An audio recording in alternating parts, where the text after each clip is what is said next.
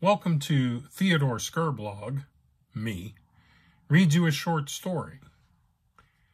This story is called Building Q.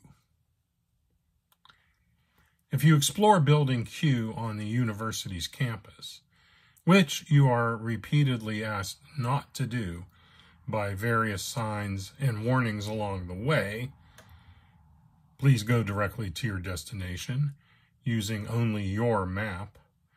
Wandering may result in disciplinary action or injury.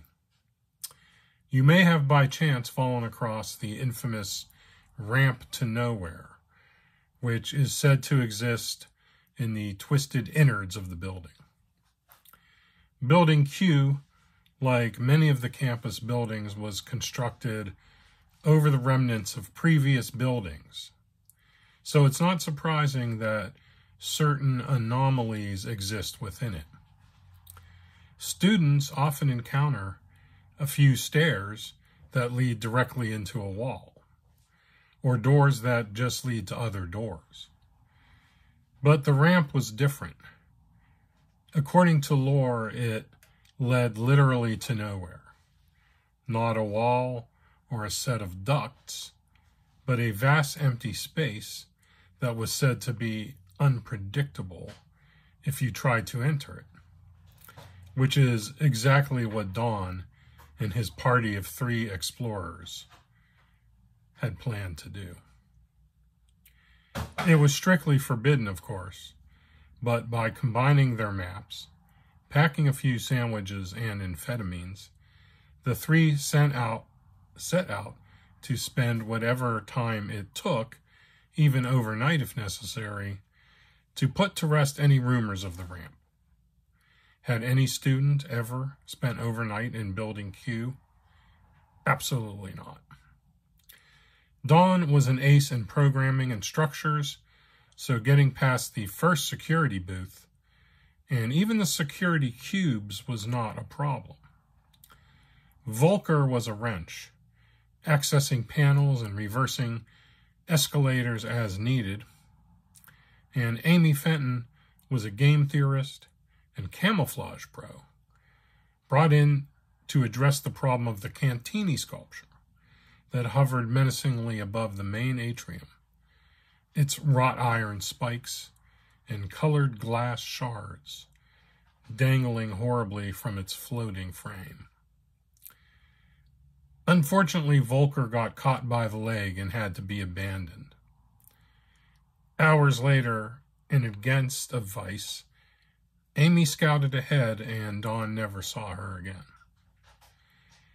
But Don forged on, following his original plan, and detected a faint scent in the air like very cold ice.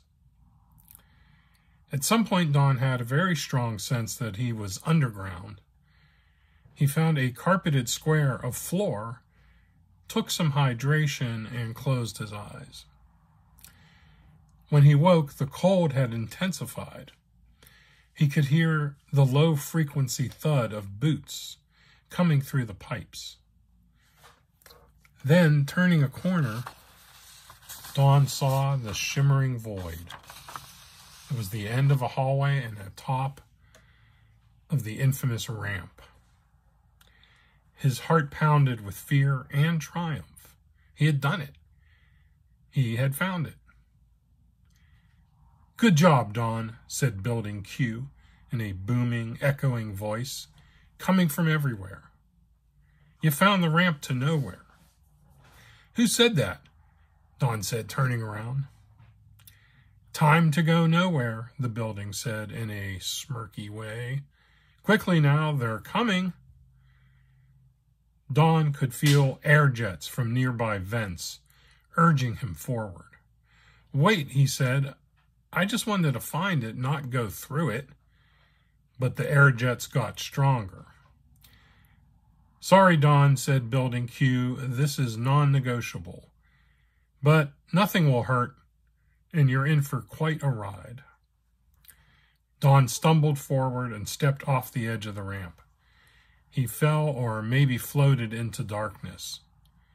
It was still very cold, and Don's eyes desperately searched for any source of light. And then the colors came. The next morning, an identical Don received a note from the registrar.